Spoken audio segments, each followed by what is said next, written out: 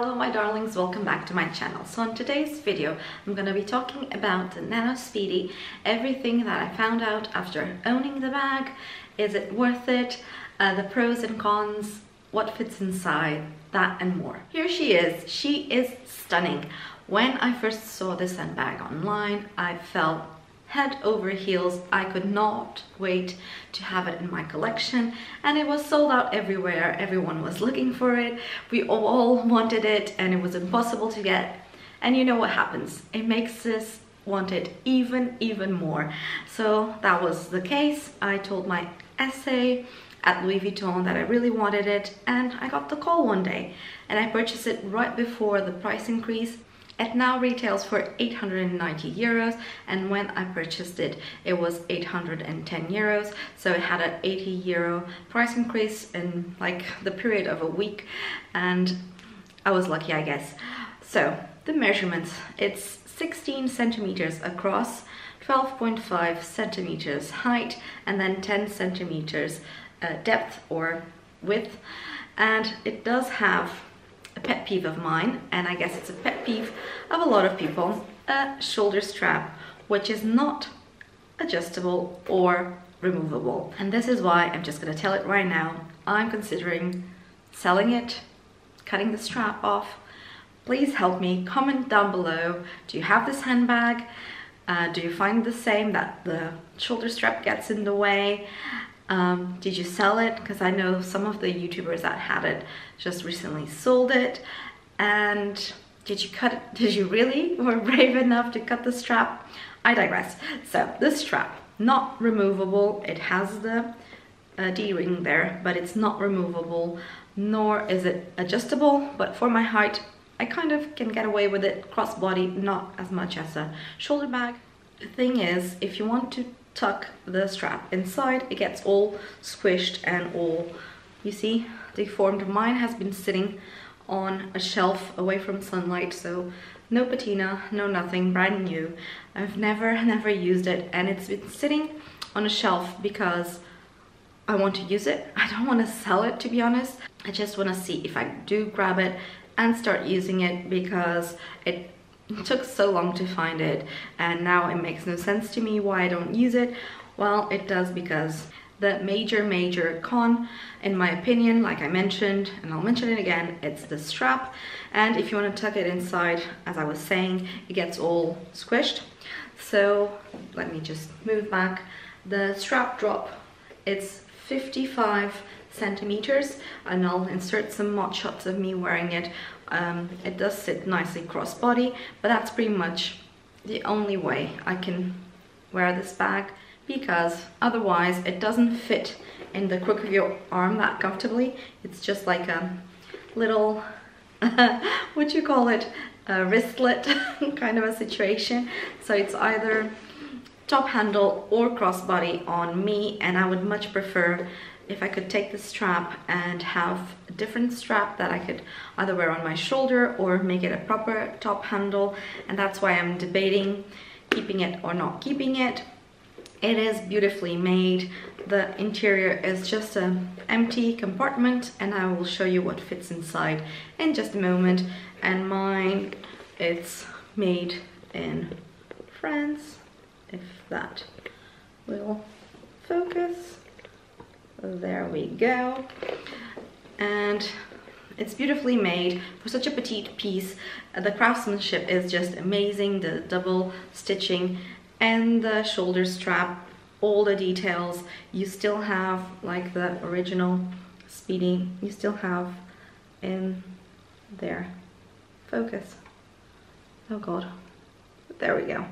You still have LV engraving in the little ringlets and it's such a tiny beautiful piece and it does fit more than I anticipated it's just this pet peeve of mine I'll not keep mentioning it, I promise, but it is the, the thing that makes me consider selling it.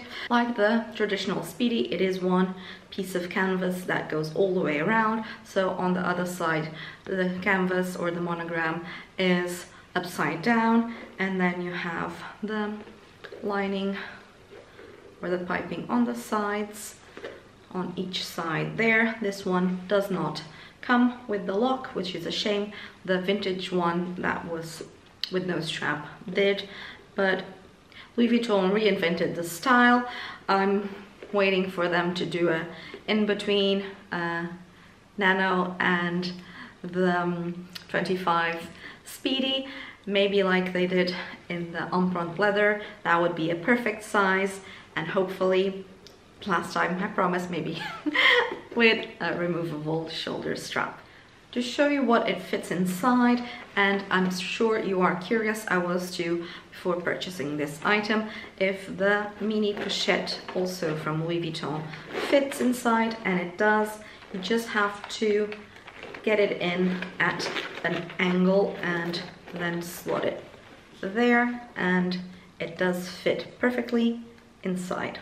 So even with the mini pochette there, you can get your pochette Clés or key pouch, put it on the side and you can take this on and off without the mini pochette being on the way of that.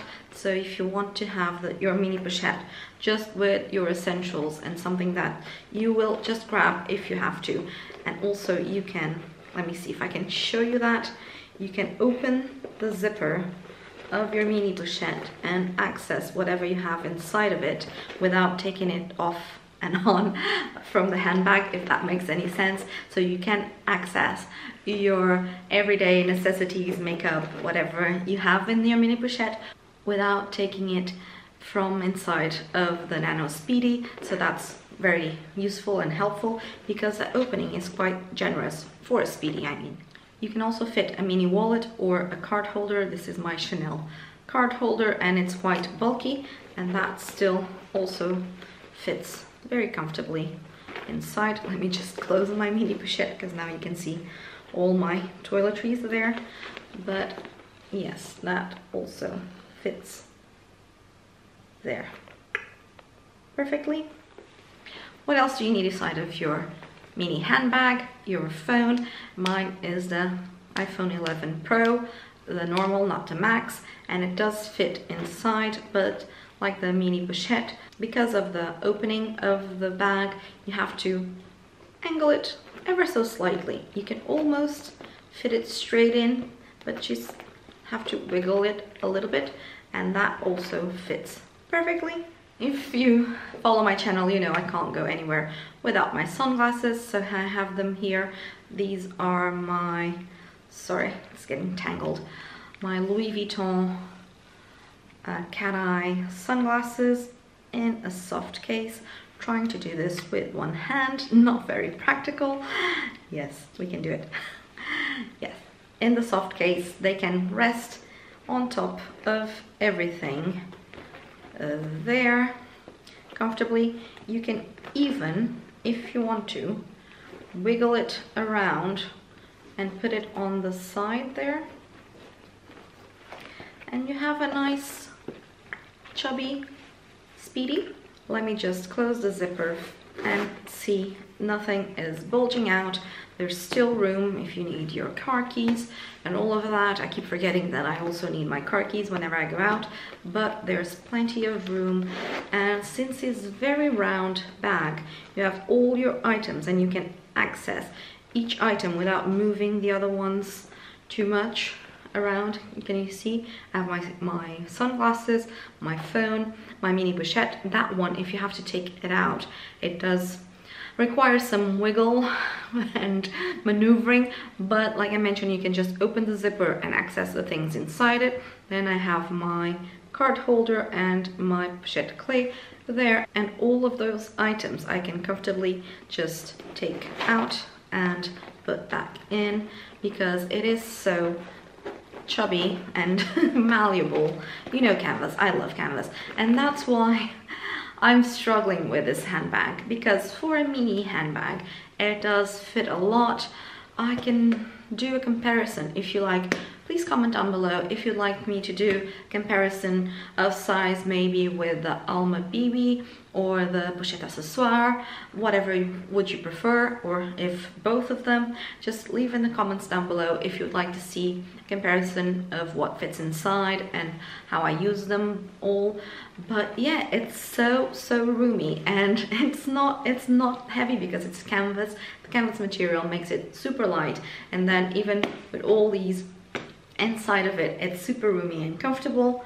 What I also love about it and continuing with the pros being the massive con see it wasn't the last time the shoulder strap one of the biggest pros it is that the handles do collapse down so when you're wearing it crossbody they sit flat and it's very comfortable instead of just sitting higher up you can if you want to you can make them sit high but I prefer when they just collapse and you have this mini little handbag crossbody super super comfortable hand hands free since I'm quite on the petite size, I'm five foot two-ish, as a shoulder bag, this one doesn't really work for me. I think it sits way, way too low for me to grab. Let me just put it there. I'll insert mod shots. But for me to grab my things, well, it's not the lowest and the most uncomfortable, but I still prefer um, other bags as a shoulder bag and I prefer um, higher shoulder length.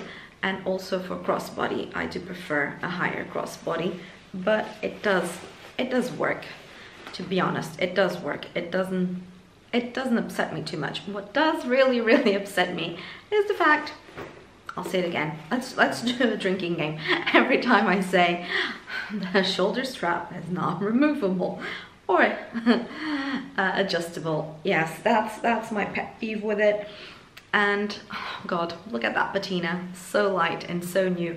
I don't know, help me make a decision. Share your pros and cons of this beauty down in the description box. What do you love about it? What would you change? Do you get used to the shoulder strap? Another thing that I notice with the shoulder strap is that sometimes when you flip it over, it doesn't go back to its normal position. It just sits to a side. Maybe that's just mine but it does that. Can you see? And I don't know. I'm obsessing with it. Let me know in the comments down below. Do you get past the shoulder strap?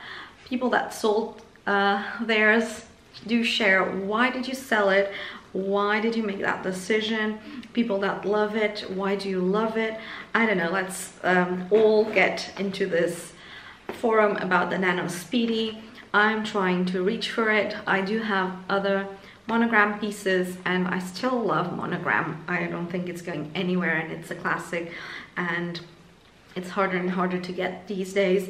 So that's one of the reasons why I'm thinking keep it in my collection uh, and maybe get um would you know actually would you know and could you please share down below of a place like proper professional i don't i don't think i have the courage to do it at home do you know of a place preferably in europe where i live um, that could remove the strap and then attach a d-ring to it because i'm just afraid that i might butcher it and i'm not really worried if i do take the strap or remove the strap or make it removable i won't be worried about resale value or any of that because then I'm sure I'll use it more and I'll enjoy it more.